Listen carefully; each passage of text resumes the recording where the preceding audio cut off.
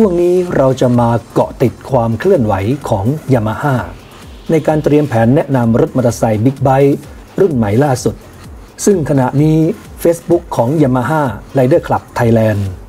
ได้มีการเผยแพร่ภาพ teaser เมื่อวันที่ 6 มีนาคม 2564 หรือเมื่อ 3 วันที่แล้ว โดยมีข้อความว่า เตรียมพบกับอีกมุมในความเป็นตัวคุณ New Hyper Naked ดุดันเร้าใจทุกองศา ร้อมให้ประสบการณ์ความเร้าใจทุกการบิด 23 มีนาคม 2564 นี้ ในงานมอเตอร์โชว์ 2021 และ Yamaha Riders Club ทั่วประเทศ ก็เป็นที่แน่ชัดนะครับว่า Yamaha จะมีการเปิดตัวบิ๊กไบค์รุ่นใหม่ นั่นก็คือ MT09 ปี 2021 ซึ่งได้มีการเปิดตัวอย่างเป็นทางการที่ยุโรปเมื่อวันที่ 27 ตุลาคม 2563 โดย MT09 รุ่นใหม่นี้ มีการปรับปรุงเปลี่ยนแปลงรูปโฉมดีไซน์ใหม่หมดทั้งคัน รวมถึงเครื่องยนต์ที่มีการปรับปรุงครั้งใหญ่ ทุกท่านทราบดีอยู่แล้วครับว่า เครื่องยนต์ของ MT09 นั้นเป็นแบบ 3 สูบเรียง Cosplane Crankshaft 3 Double Overhead Camshaft 12 วาล์ว4วาล์วต่อสูบ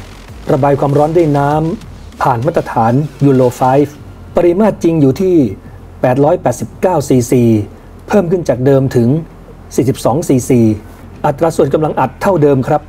11.5 ต่อ 1 แรงม้าสูงสุดเพิ่มขึ้นจาก 115 แรงม้าเป็น 119 แรงม้าที่ 10,000 รอบต่อนาที เพิ่มขึ้น 4 แรงม้าหรือประมาณ 3%แรงบิดสูงสุดทำได้ 93 นิวตันเมตร มากกว่าเดิมที่ทำได้ 87.5 นิวตันเมตร ก็เท่ากับว่า แรงบิดเพิ่มขึ้น 5.5 นิวตันเมตร หรือประมาณ 6% ยามาฮ่ายืนยันครับว่า MT09 ใหม่ ตอบสนองดีเยี่ยมทุกรอบเครื่องยนต์ ทรงพลังมากขึ้น แรงบิดมาที่รอบต่ำ เพราะฉะนั้นการขับขี่ในเมืองแล้วก็เน้นอัตราเร่งในช่วงต้นช่วงกลางที่ดีเยี่ยม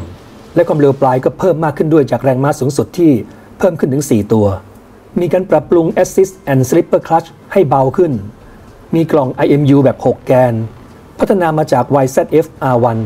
Traction Control System 3 ระดับ มีระบบ Slide Control System รวมถึงระบบป้องกันหน้ายก Lift Control System ระบบควบคุมการเบรกหรือเบรกคอนโทรลโครงสร้างตัวถัง Delta Box และสวิงอาร์มอลูมิเนียมใหม่ น้ำหนักเบาขึ้น อัพไซด์ดาวของคายาบ้า ปรับได้ทั้ง 3 จุด ตำแหน่งท่านั่งปรับใหม่ครับทั้ง Handle Bar และพักเท้า จอแสดงผลแบบ TFT Full Color 3.5 นิ้ว เบาะนั่งสูง 825มิลลิเมตรสูงกว่าเดิม 5มิลลิเมตร น้ำหนักรถโดยรวมอยู่ที่ 189 กิโลกรัม เบาขึ้นถึง 4 กิโลกรัมครับ ตลอดช่วงเวลา 7 ปีที่ผ่านมาของการขาย MT09 ในยุโรปก็ปรากฏว่า มันสามารถทำยอดขายได้สูงสุดกว่า 50,000 คัน นับเป็นตัวเลขการขายสูงสุดในคลาสนี้ที่ยุโรปครับ ปัจจุบันนี้ราคาของ MT09 ในเมืองไทยอยู่ที่ 399,000 บาท รุ่นใหม่ปี 2021 จะมีราคาเท่าไหร่ ติดตามกระแสข่าวกันต่อไปครับ อีกรุ่นหนึ่งที่คาดว่าจะมีการเปิดตัวพร้อมๆกันก็คือ MT07 ปี 2021 เนื่องจากว่าที่ยุโรปนั้น MT07 รุ่นใหม่ เปิดตัวตามหลัง MT09 เพียงแค่ 7 วันเท่านั้น ก็คือเปิดตัววันที่ 3 พฤศจิกายน 2563 มันคือสายพันธุ์ The Dark Side of Japan เหมือนกัน โดดเด่นด้วยแรงบิดที่สูง อัตราเร่งที่ยอดเยี่ยม ซึ่ง MT07 ปี 2021 นี้ มีการปรับปรุงรูปโฉมดีไซน์ใหม่หมดทั้งคัน จุดเด่นก็คือ ไฟหน้าโปรเจคเตอร์ LED แบบหนึ่งดวงขนาดใหญ่ แต่ข้างในมีหลายจุด หรือว่ามีหลายดวง ไฟ DRL กระนาบข้างสองข้างครับ คล้ายๆกับ MT09 เครื่องยนต์ 2 สูบเรียง Cross Plane Crankshaft เพราเข้าเวียงแบบ 270 องศา Double Overhead Camshaft 8 วาล์ว4วาล์วต่อสูบ ปริมาตรจริงอยู่ที่ 689ซีซี อัตราส่วนกำลังอัด 11.5 ต่อ 1 ให้พลังแรงม้าสูงสุด 73.4 แรงม้าที่ 8,750 รอบต่อนาที แรงบิดสูงสุด 67 นิวตันเมตรที่ 6,500 รอบต่อนาที โดยแรงบิดนั้นมาตั้งแต่ 3,000 รอบขึ้นไปจนถึง 6,500 รอบต่อนาที เน้นอัตราเร่งในช่วงต้นช่วงกลางที่ดีเยี่ยม ขับขี่สนุกในเขตเมือง หัวฉีดของมิคุนิ 12 รู กล่อง ECU 32 บิต ขนาดท่อ ID 38มิลลิเมตรให้ความประหยัดอยู่ที่ 23.8 กิโลเมตรต่อลิตร ถังน้ำมันเท่าเดิม 14 ลิตรครับ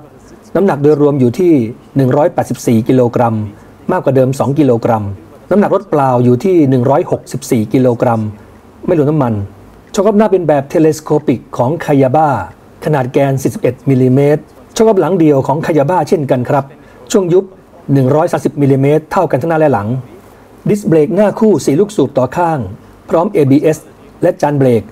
298มิลลิเมตรใหญ่ขึ้นกว่าเดิมที่มี 282มิลลิเมตรถึง 16มิลลิเมตรด้วยกันครับ ดิสเบรกหลังเดียวพร้อม ABS ขนาดจานเท่าเดิม 245มิลลิเมตรยางหน้า 120ทับ70 ZR17 ยางหลัง 180ทับ55 ZR17 เป็นของมิชลินโรดไฟ เกาะหนึบสำหรับคนขี่ทุกระดับครับ วิ่งทางเปียกได้ดีนะครับอายุการใช้งานที่ยาวนานมากขึ้น ยอดขายของ MT07 ในอิตาลีนั้นก็ปรากฏว่า มีตัวเลขการขายสูงสุดในคลาสของ 2 สูบเรียง ราคาค่าตัวที่เมืองไทยของเราในขณะนี้อยู่ที่ 299,000 บาท นี่คือราคาของปีที่ผ่านมาครับสำหรับ MT07 ปี 2021 นั้น จะมีราคาเท่าไหร่ ไปดูกันได้ที่งานมอเตอร์โชว์ 2021 ที่จะมาถึงวันที่ 23 มีนาคม